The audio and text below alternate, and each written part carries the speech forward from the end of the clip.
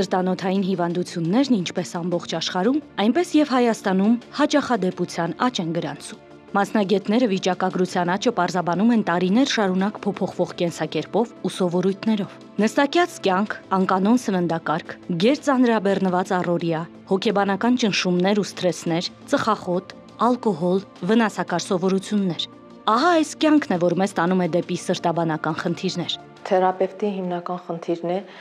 ժամանակին տարբերակել եւ ախտորոշել կարդիոմիոպաթիան եւ ուղեգրել այդ հիվանդին կարդիոլոգի սրտաբանի մոտ։ Կարդիոմիոպաթիաները հիվանդություններն են, որոնք դրսևորվում են անհամապատասխան հիպեր փորոքների հիպերտրոֆիայով կամ դիլատացիայով եւ հիմնական դրսևորումը դիլատացիոն կարդիոմիոպաթիայի հիմնական դրսևորումն է դա սրտային անբավարարությունը եւ տրոմբոեմբոլիկ բարդությունները սակայն հիվանդությունը ընթանում է անախտանիշ այդ իսկ պատճառով այդ հիվանդները դիմում են բժշկի արդեն իսկ արտահայտված նշաններով, սրտային անբավարարության նշաններով եւ շատ հաճախ այդ հիվանդները չեն ներկայացնում նաեւ որևէ սիրտանոթային հիվանդությունների անամնեզ։ Կարդիոմիոպաթիաները դրանք սրտամկանի, բուն սրտամկանի հիվանդություններ են, որոնք ուղեկցվում են կառուցվածքային ձևախախտմամբ սրտամկանի առանց որևիցե այսպես տեսանելի պատճառի։ Հիմնականում մենք բաժանում ենք բոլոր կարդիոմիոպաթիաները երկու ըստ պատճառաբանության երկու տեսակի, երբ պատճառը չենք կարողանում հայտնաբերել դա ասում ենք առանց որևիցե տեսանելի պատճառի եւ սակայն կա մի որոշ խումբ մոտ 20-30% դեպքերում այստեղ դեր ունի ժառանգական գործոնը, ժառանգական պայմանավորված այսպես վատ ժառանգականությամբ կարդիոմիոպաթիաներ եւ այսպես կոչված երկրորդային, երբ կարողանում ենք հայտնաբերել, իհայտ բերել պատճառ, սրտային հիվանդություն, որը կարող էր առաջացնել կարդիոմիոպաթիա։ Կարդիոմիոպաթիա տերմինը գրկում է մի շարք հետերոգեն հիվանդությունների, այսինքն դա մեկ հիվանդություն չէ։ Ուղղակի դրանք բոլորը ունեն ընդհանուր գծեր։ Ընդհանուրը ինչն է։ Դրանք բոլորը ուղեկցում են կառուցվածքային փոփոխություններով, խորոչների լայնացմամբ կամ փոքրացմամբ եւ կծկողական ֆունկցիայի խանգարմամբ, այսինքն ընկճմամբ, սիրտը որպես պոմպա, որպես սրտային օրգան, որը մխում է արյուն դեպի ամբողջ օրգանիզմը, պաշարժ ձևով չի աշխատում։ Կարդիոմիոպաթիա ունեցող մարդիկ արիթմիաների եւ սրտային հանկարծամահության մեծ ռիսկ ունեն, քանի որ դրանք բերում են նաեւ սրտային անբավարարության երևույթների առաջացման։ Երբ պատճառը հայտնի չի լինում, եւ վատ ժառանգականությամբ կարդիոմիոպաթիաները դրանք իհարկե շատ ավելի վատ այսպես կանխատեսում ունեն հիվանդությունը կարծես թե սկսում է առանց որևիցե տեսանելի պատճառի ավելի շատ հիվանդանում են երիտասարդ հասակում ավելի տարածված է կարդիոմիոպաթիայի այն տեսակը, երբ զարգանում է սրտամկանի մեծ խորոչների լայնացում եւ սրտի կծկողականությունը իջնում է, սկալի նվազում է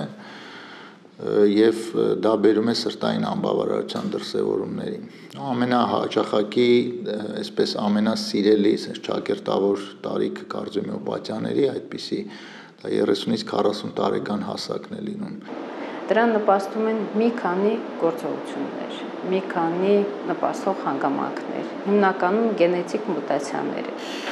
Մենք տարբերակում ենք դիլատացիոն կարդիոմիոպաթիաներ, հիպերտրոֆիկ կարդիոմիոպաթիաներ, ռեստրիկտիվ եւ հիվանդություն, որը կոչվում է ոչ կոմպակտություն։ Սրտամկանի ոչ կոմպակտ լինելը non-compaction անգլերեն։ Սրտի կծկողական ֆունկցիայի խանգարման պատճառով կան տարբեր պատճառներ, որոնք կարող են բերել սրտամկանի ախտահարման։ Օրինակ, սրտի իշեմիկ հիվանդությունը, տարբեր համակարգային հիվանդությունները, էնդոկրին հիվանդությունները, ալկոհոլի եւ թմրադեղերի չարաշահումը եւ այլն։ Երբեմն կարողանում ենք հայտնաբերել կապ նախորդող, այսպես վիրուսային ինֆեկցիաներից հետ, որը բերում է սրտամկանի բորբոքման, հետո զարգանում է կարդիոմիոպաթիա, հաճախակի գրիպի վիրուսը, պարագրիպի, հերպեսի վիրուսի տեսակներ կան, որոնք ցիտոմեգալովիրուս, տարբեր վիրուսային ինֆեկցիաները կարող են առաջացնել կարդիոմիոպաթիա։ Մեծ խումբ են կազմում նաև սրտամկանի բնածին հիվանդությունները, այսպես կոչված իդիոպաթիկ կարդիոմիոպաթիաները, որոնց համար չի հայտնաբերվել հարուցող գործոն եւ նրանք համարվում են ժառանգական հիվանդություններ։ Ցավոք սրտի երբ հիվանդը դիմում է շատ հաճախ արդեն իսկ սրտային անբավարարություն է զարգացած լինում, որովհետեւ կարող է դրա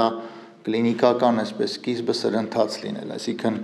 Դրան կարող է նախորդել շատ հաճախ. Գրիպի, գրիպ, գրիպոյի ինֆեկցիա կամ որից է սուր ռեսպիրատոր հիվանդություններ, տարբեր վիրուսային ինֆեկցիաներ։ Շատ հաճախ մենք նկատում ենք, որ 1-2 կամ մի քանի ամիս հետո հիվանդները դիմում են արդեն հեվոց շնչարգելցում եւ ռիթմի խանգարումներ, սրտի անկանոն սրտի աշխատանքի ուրեմն անկանոն զգացումներ, որը դա սուբյեկտիվ է, հաս, գիշերային հաս, դա նույնպես նշան է սրտային անբավարարության եւ դիմում են արդեն ցավոք սրտի լայնացած սրտամկանով։ Վախ հայտնաբերումը միայն մենք կարող ենք դա ի հայտ բերել այն դեպքերում, երբ հետևենք սուր ռեսպիրատոր վիրուսային ինֆեկցիայից հետո հնարավոր բարդություններին, երբ հիվանդը դիմում է բժշկին բայց եթե չի դիմում, ենթարենք վիրուսային ինֆեկցիաներից հետո ինքնահոսի այսպես թողած սիտուացիաները կարող են բերել ինչպես օրինակ զարգանում է հաճախ թոքաբոր բորբոքում թոքերի, չէ, որը շատ ավելի տարածված է այնպես էլ կարող է սրտամկանի բորբոքում զարգանա եւ դա բերի կարդիոմիոպաթիայի սպորտսմենների մի մասը որը սովորաբար ունենում է սրտամկանի գերաճ պայմանավորված լարված ֆիզիկական աշխատանքով, դե բարձ է իրենք մարսվում են, հա, սրտամկանի պատը պետք է հաստանա, որտեղ ծանրաբերվածություն է անդադ, ծանրաբերվածության դիմադրում։ Մի խումբ այդ երիտասարդների ունի բնածին աուտոսոմ դոմինանտ հիվանդություն, որը կոչվում է հիպերտրոֆիկ կարդիոմիոպաթիա, եւ իրենք ունեն հակում սրտամկանի հաստացման գերաճի նկատմամբ։ Հաստացումը դա այդ լինում է ոչ համաչափ։ Մենք տարբերակում ենք հիվանդության մի քանի տարբերակներ։ Դա սիմետրիկ հիպերտրոֆիան է, երբ որ սրտամկանի պատերը համաչափ հաստանում են։ Հաստանալը մենք խոսում ենք մինչև 2-3 սանտիմետր հաստության մասին լինում է ոչ սիմետրիկ, երբ որ հարաբերակցությունը միջփորոքային միջնապատի եւ ազատ պատի լինում է 1.3-ից բարձր մենք խոսում ենք օջախային կարդիոմիոպաթիայի մասին, այս դրա օրինակը մեր էկրանի վրա դուք կարող եք տեսնել, մենք տեսնում ենք միջփորոքային միջնապատի լոկալ հիպերտրոֆիա։ Հա? Ինքը ասիմետրիկ է, ուղղված է դեպի խորոջ, այլ հատվածների ախտարում տվյալ դեպքում մենք չունենք։ Կարելի ասել, որ այս հիվանդին բախտը բերել է։ Տակոցուբոյի կարդիոմիոպաթիա հասկացությունը սրտաբանները շրջանառության մեջ են դրել 1990 թվականին Ճապոնիայում։ 2006 թվականին Բարսելոնում տեղի ունեցած Եվրոպացի սրտաբանների կոնգրեսում Տակոցուբոն ներկայացվել է որպես ինքնուրույն հիվանդություն՝ կարդիոմիոպաթիայի տարբերակ։ Ճապոներենից թարգմանած Տակոցուբո նշանակում է ութոտնուկի ծուղակ։ Այս պաթոլոգիայի դեպքում սրտամկանը լայնանում է եւ սիրտը ձևով նմանվում է անոթի, գինուկ ուժի։ Կարդիոմիոպաթիկ հիվանդը եւ տեսեք պատը ցախ փորոքի բավականին հաստացած մեջը պատի այսպես էխոկառուցվածքը փոփոխված, սա սրտի կուտակային հիվանդություն է ամիլոիդոզ, ուրեմն սրտի ամիլոիդոզ է, որը հազվադեպ հիվանդություն է, մենք հայտնաբերել ենք։ Եվ Սա արդեն տեսեք ժամանակակից էխոսրտագրական մեթոդ է, այստեղ քարտավորում ենք եւ տարբեր սեգմենտները սրտամկանի կարողանում ենք տեսնել։ Եվ այս պատկերի ըստ այս պատկերի սրտի տարբեր հատվածների դեֆորմացիայի աստիճանը քանակապես որոշվում է եւ կոնկրետ ամեն կարդիոմիոպաթիային բնորոշ որից է առանձնահատուկ այսպիսի speckle է կոչվում անգլերեն լեզվով, դեֆորմացիայի ինդեքս մենք կարողանում ենք տեսնել։ Մուկ կարմիրը ինքը գնահատվում է որպես գագաթի հատվածում լավ գործող կծկողական ֆունկցիան պահպանված եւ կողնային պատերի համապատասխան վատ կծկողականությունը տեսեք այս բաց կապույտ գույնով է երանգավորվում եւ ապարատը ինքն է սա մեզ տալիս, մեր դերը հետազոտողի ավելի քիչ է, բայց իհարկե պատկերը պետք է ճիշտ կարողանալ ստանալ Եվ սա կոնկրետ այս սիտուացիան շատ բնորոշ է սրտի ամելոիդոզին, որը սա իհարկե նոր վերջին նորագույն մեթոդն է, որ կիրառում է աշխարհում, առանց միջամտական միջոցի մենք կարողանում ենք ուրեմն հայտնաբերել սրտի ամելոիդոզը։ Պաթոլոգիան հիմնականում հանդիպում է միջին տարիքի կամ տարեց կանանց շրջանում, ծանր սթրես տանելուց հետո։ Ախտածնության հիմքում արյան մեջ կատեխոլամինների խտության մեծացումն է, ըստ որում մի քանի անգամ ավելի շատ, քան միոկարդի սուր կաթվածի դեպքում, որը կորոնար զարկերակի սպազմ, միկրոշրջանառության խանգարում եւ կարդիոմիոցիտների ոչնչացում է առաջացնում։ Բիոպսիայով հայտնաբերվում են կատեխոլամինների թունավորման ախտանշաններ, ներբջջային գլիկոգենների կուտակում, վակուոլների մեծացում, միոկարդիտի, սրտամկանի բորբոքման բացակայության դեպքում ներբջջային մատրիքսում սպիտակուցների քանակի ավելացում։ Առավել հաճախ հանդիպում է 55-ից բարձր տարեկան կանանց շրջանում 70-ից 90%։ Դաշտանադաթարի ժամանակ հիվանդանալու վտանգը գրեթե 5 անգամ մեծանում է։ Տեսականորեն կարող են հիվանդանալ ցանկացած տարիքի անհատներ, այսինքն դա պայմանավորված է գենի պենետրանտությունից, դրսևորումից, հա? Այսինքն կան անձինք, ում մոտ այս հիվանդությունը կարող է այսենց բարվորակ լինել, օջախային հիպերտրոֆիաներ, գերաճներ, չեն պատճառի ինչ որ լուրջ փոփոխություններ մկանին եւ կլինեն պատահական sense հայտնաբերումներ հերթական այցելությունների ժամանակ եւ կան հիվանդություններ, որոնք ուղեկցվում են միջֆորոքային միջնապատի արտահայտված ասիմետրիկ հիպերտրոֆիայով, նեղացնում են ցախ փորոքի արտատար հատվածը եւ հիվանդ ունենում է սիմպտոմներ կապված հեվոցի հետ ցածր տոլերանտություն ֆիզիկական ծանրաբերվածության հետ, անհասկանալի սրտխփոցների նոպա։ Լինում է եւ պատանեկան հասակում, եւ մանկական հասակում երբևիցե ինչի ես սպորտսմենների եմ անդադ նշում, որտեղ իրենց մոտ ավելի հաճախ է հանդիպում, իրենց չի կարելի պաստոնից ծանրաբերվել հիվանդ սրտամկանը, ինչը կնպաստի այդ արիթմիաների, այդ իրավիճակների առաջացմանը բայց իրենք փաստորեն չիմանալու որ նման հիվանդության կրիչներ են ծանրաբեռնում են սիրտը եւ մենք կանգնում ենք փաստի առաջ։ Հնարավոր է նաև հիվանդության առաջացում 14-ից 16 տարեկան դեռահասների շրջանում, քանի որ նրանց օրգանիզմը սթրեսին այնքան էլ ընտելացած չէ։ Հիպերտրոֆիկ կարդիոմիոպաթիան ենթադրում է ոչ առողջ մկանի գերաճ։ Այդ մկանը գտնվում է թերս նուսման պայմաններում։ Պատշաճ ձևով չի կծկվում պատճառը ինչն է։ Անձը ժառանգում է սրտային մկանաթելիկների սխալ դասավորում, սխալ դիրքորոշում եւ անհատը իր առօրյա աշխատանքում ֆիզիկական ցանկացած ֆիզիկական աշխատանք կատարելիս ունենում է հակում այդ գերաճի։ Փաստորեն մկանը աճում է, բայց ուժը չի ավելանում կսկման դառնում է թերի եւ ցանկացած պահին կարող է առաջանալ սրտային կանգ։ Կանգը պայմանավորված է կյանքի սպառնացող առաջացող արիթմիաներով։ Դրանք փորոքային տախկարդիան եւ փորոքային ֆիբրիլյացիան։ Այսինքն այն հանկարծամահությունը կապված էր հենց առաջացած արիթմիաներով Ինչի է պետք այդ հիվանդությունը հայտնաբերել երիտասարդների մոտ, որտեղ դա բերում է իրենց մահվան։ Ցավոք սրտի հիվանդությունը բավականին տարածված է։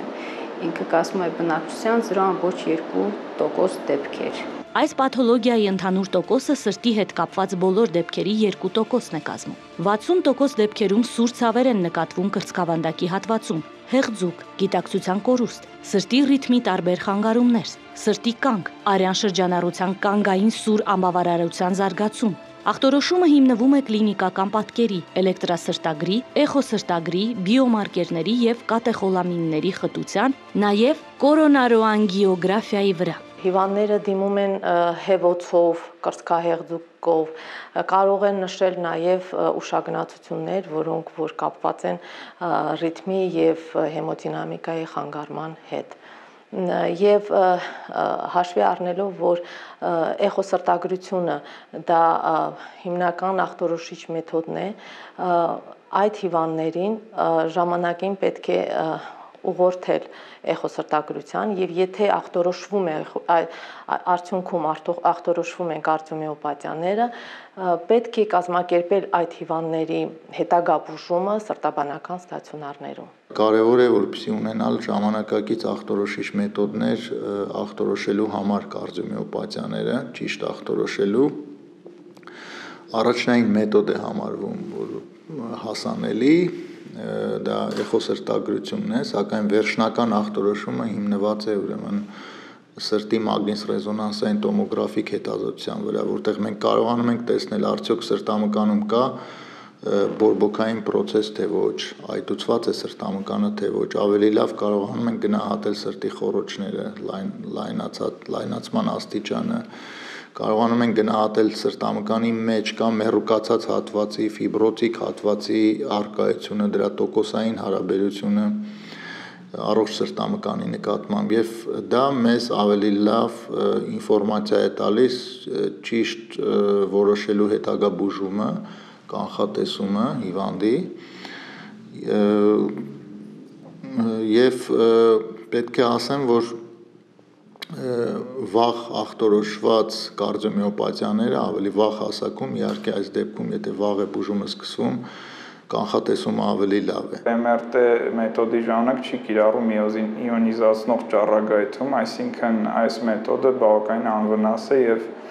հնարավոր է կիրառել տարբեր խմբի պացիենտների մոտ, ինչպիսիք են օրինակ հղիները, այդ թվում նաեւ եւ երեխաները եւ զանազան այլ խնդիրներով մարդիկ սրտի կոնկրետ MRT-ն համատաբար երիտասարդ հետազոտություն եւ ամբողջ աշխարհում մեծ տեմպերով զարգացում է ապրում, այդ թվում նաեւ Հայաստանում։ Հատկապես կարդիոմիոպաթիաների հետ կապված սրտի MRT-ի դերը կարևորվում է այնքանով, որ հաճախ հնարավոր չէ հստակ ախտորոշել թե կարդիոմիոպաթիան ինչ պատճառ ունի, ինչ գենեզ ունի, ծագումը եւ տարածված շատ տարածված դեպքերում հիվանդը սրտի էխոսրտագրություն կամ էլեկտրասրտագրություն անցնելով ոչ լրիվ ախտորոշված է մնում, այսինքն միևնույն է հարցը մնում է օթում կախված, այսինքն արդյոք դա կարդիոմիոպաթիա էր թե ոչ եւ եթե այո, ապա հատկապես ինչ կարդիոմիոպաթիա էր։ Եվ այդտեղ ցակում է անհրաժեշտություն սրտի MRT անելու, մագնիսառեզոնանսային տոմոգրաֆիա անելու, որը արդեն կիրառելով գադոլինիում կոնտրաստ նյութը հնարավորություն է տալիս տեսնելու հատկապես ախտահարման ձևը, տեսակը, աստիճանը, նեկրոզի, ֆիբրոզի տարածվածությունը, դրանց բաշխվածությունը սրտամկանի հյուսվածքում Այսինքն հնարավորություն է ստեղծում հաստատել ի վերջո օրինակ դիլատացիոն կարդիոմիոպաթիա ախտորոշումը, որը որ ամեն դեպքում էխոսրտագրությամբ մնում է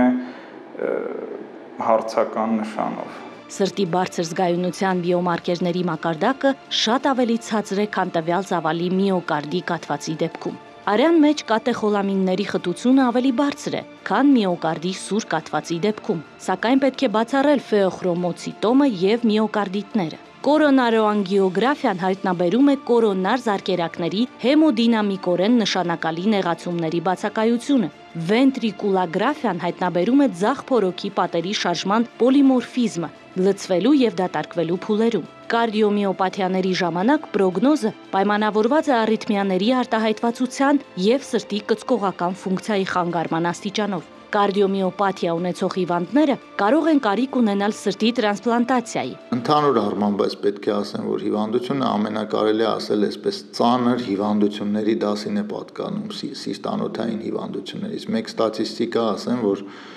կարդիոմիոպաթիաների դիլատացիոն, այսպես կոչված կարդիոմիոպաթիաները, դրանք կազմում են սրտի փոխպատվաստման հիվանդների մոտ 50%, այսինքն բոլոր փոխպատվաստված, այսինքն երբ բոլոր միջոցները դեղորայքային եւ այլ միջոցները այսինքն արդեն արդյունավետ չեն լինում, դա սրտի տրանսպլանտացիայի գնացող հիվանդների մոտ 50% այդ դիլատացիոն կարդիոմիոպաթիաներն են։ Կարդիոմիոպաթիայի բուժումը իրականացվում է սուր ինֆարկտի բուժմանը բնորոշ բոլոր տարբերակներով։ Արդեն ախտորոշված կարդիոմիոպաթիան բուժում ենք սրտային անբավարարությունը, բուժում օգտագործում ենք դեղամիջոցներ, որը որոնք կանխում են սրտամկանի հետագա լայնացումը, Եթե վաղ ենք ախտորոշում, մենք ունենք արդյունքներ մոտ 20-25% դեպքերում կանխում ենք եւ նույնիսկ փորոքը, ցախ փորոքը չափսերով վերադառնում է իր նորմային եւ այդպիսի հիվանդները երկարատև դիտարկումը ցույց է տալիս ունենք հիվանդներ մոտ 5 տարի, 10-15 տարի լավ պրոգնոզ է, բայց մշտական գրեթե միշտ տեղերի կարիք ունեն մշտական ստանալու։ Այս բոլոր սրտային հիվանդությունները ուղեկցում են ընդհանուր գանգատներով, հեվոցով, սրտխփոցով, որոնք կարող են աննշան լինել, կարող են ուշագրավ չլինեն։ Ուղղակի ինձ թվում է ելքը նրանում է, որ մենք պետք է առանձնա առանձնացնենք այդ հնարավոր հիվանդների մի խումբ։ Այսինքն, եթե մի ընտանիքում հիվանդ է մեկ անձ, իր ժառանգների բարեկամներին անպայման պետք է ստուգել։ Կարդիոմիոպաթիայի կանխարգելումը հնարավոր է որոշ դեպքերում։ Դա կենսակերպի վերանայումն է առողջ, անվնաս ու շարժուն։